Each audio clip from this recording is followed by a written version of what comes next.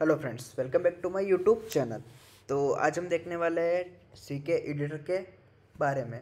तो यदि आपको नहीं पता है तो मैं आपको बता दूँ कि सी के एडिटर एक ऐसा एडिटर है, जिसकी मदद से हम किसी भी चीज़ को एडिट कर सकते हैं, या फिर हम जो टैक्स है इमेजेस है, उसको हम एडिट करके उसका सोर्स कोड ले सकते हैं in H T M L और सी एस एस तो यहाँ पे क्या होता है कि आपका जो काम होता है वो हाफ़ एन हो जाता है कि आपको पूरा पूरा पेज एक क्रिएट करना या फिर आप ऐसी कोई फंक्शनिटी बना रहे हो एडमिन के थ्रू जहाँ से आपको कुछ चीज़ें चेंजेस करनी है और जैसे कि कोई ब्लॉग साइड है तो यहाँ पे आपको ब्लॉग लिखना है। तो यहाँ पे आप पूरा का पूरा एडिटर बना के दे दोगे जिससे कि कोई भी जो आपका एम्प्लॉय होगा या फिर जो भी आपका ब्लॉगर होगा वो ब्लॉग लिख सकता है। तो यहाँ पे हम इसको कैसे यूज़ कर सकते हैं और कैसे इम्प्लीमेंट कर सकते हैं अपने प्रोजेक्ट्स में। तो यहाँ पे मैं आपको basically H T M L C S S के थ्रू ही बताने वाला हूँ कि आपको किसे इसको इम्प्लीमेंट करना है। तो यहाँ पे आपको गाइडलाइंस पे चला, लेके चला जाता हूँ।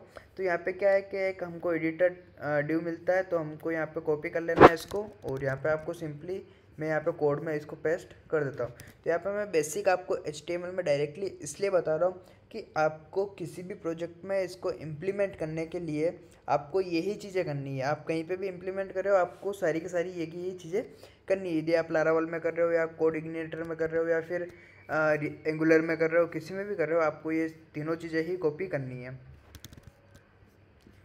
यहाँ पे कॉपी करने के बाद हम यहाँ पे इसको पेस्ट कर देते हैं और यहाँ पे जो सीएसएस का कोड है, वो भी हम यहाँ से कॉपी कर लेते हैं।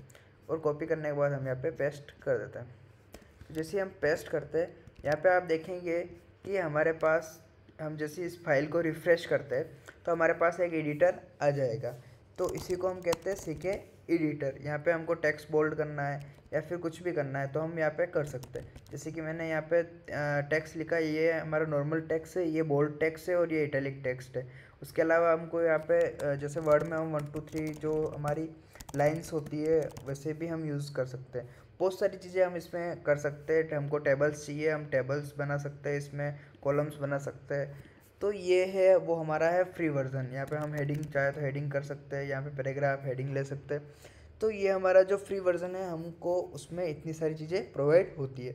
उसके बाद आता है हमारा पेड वर्जन तो हमको, जैसे कि ये जो एडिटर है, ये ऐसे के एडिटर ही है पर वेबसाइट पे। तो यहाँ पे क्या है कि हमको फ़ोटोज़ यहाँ पे रिस्पॉन्सिवनेस यहाँ पे सोर्स कोड वर्ड पीडीएफ ये सारी चीज़ें जो हमको एडिशनल मिलती है, वो हमको मिलती है पेड वर्जन में। इसके लिए आपको इसको बाई करना होगा।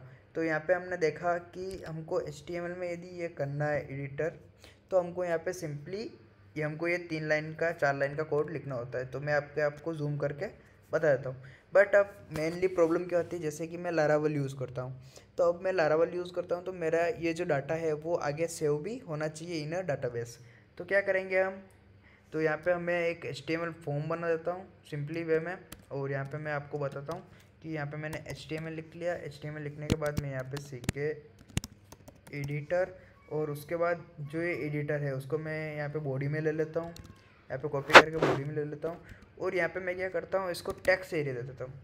तो टैक्स एरिया क्या करता है कि टैक्स एरिया के अंदर अपन हर कुछ भी लिख सकते हैं। तो वो हमारा जाके सेव हो जाता है। हर कुछ का मीन्स ये है कि हमारा जो इनपुट टाइप होता है जो कि होता है एक स्पेसिफिक जैसे नंबर हो गया टैक्स हो गया या फिर रेंज हो गया, ये सारी चीज़ें। पर टैक्स एरिया के अंदर आप कंटेंट लिख सकते हैं।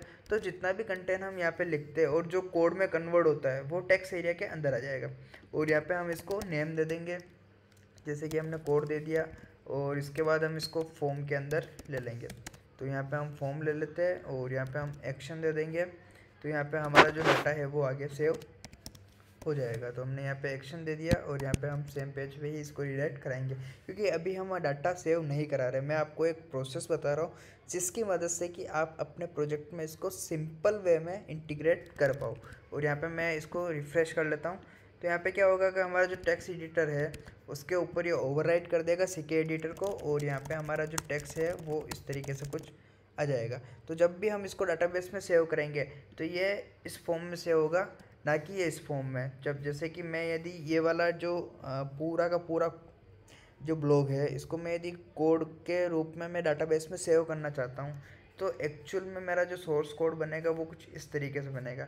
तो ये जो सोर्स कोड है, वो ही पूरा का पूरा डाटाबेस में जाके सेव होगा। और यदि मैं किसी भी पेज के ऊपर रेंडर कराता हूँ इस सोर्स कोड को तो वो मेरा आउटपुट कुछ इस तरीके से दे देगा।